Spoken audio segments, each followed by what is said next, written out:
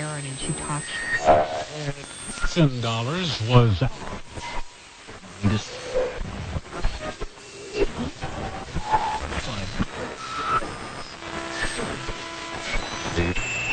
Very serious.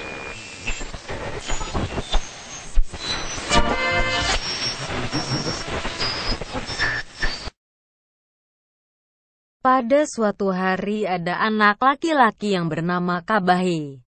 Kabahi ini anak dari Naufal dan Miu. Kabahi itu anaknya gendut banget dan cakep kayak bapaknya. Hehehehehehe. Nama lengkapnya adalah Muhammad Kabahi Astra Jingga Mangku Bumi Sentosa Abiseno Prikitiu. Maaf ya namanya panjang betul ya. Kabahi ini suka makan kardus. Hehehehehehe. Soalnya, mamanya Kabahi itu kucing, tapi bapaknya itu manusia. Lokok bisa sih. Aneh ya. Jadi, gini ceritanya. Waktu dulu bapaknya Kabahi itu jomblo akut, susah cari pacar. Jadi Naufal, bapaknya Kabahi itu punya cita-cita punya anak laki-laki namanya Kabahi tapi jomblo terus jadinya bapaknya Kabahi itu nikah sama kucing tapi sayangnya. Kabahi itu badannya kucing mukanya manusia lalu Kabahi punya ade nama lengkapnya. Lili Kamila Toska Jitek Jitek. Adanya Kabahi ini, mukanya bersisi kayak ikan duyung dari planet Mars.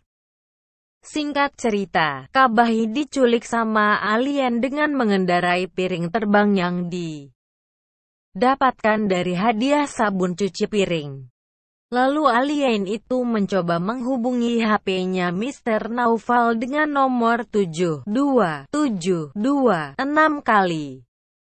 Beginilah percakapannya. Alien memulai pembicaraannya. Halo Mr. Naufal.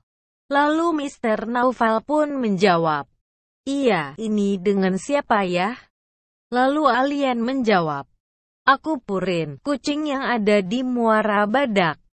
Tapi sekarang aku telah berinkarnasi menjadi alien. Aku menculik Kabahi, sekarang aku minta tebusan 300 juta rupiah dari kamu manusia aneh. Lalu Mr. Naufal menjawab, Kok kamu bilang aku aneh sih, kenapa? Lalu alien menjawab, Iya, manusia nikahnya kok sama kucing sih. Dasar orang gila, enggak laku ya, woi. Lalu Mr. Naufal menjawab, Enggak, aku masih waras. Kalau kamu mau 300 juta, nanti saya kirim via ekes. Sebutin aja nomor rekeningnya, biar saya kirim nanti. Lalu alien menjawab. Nomor rekeningnya adalah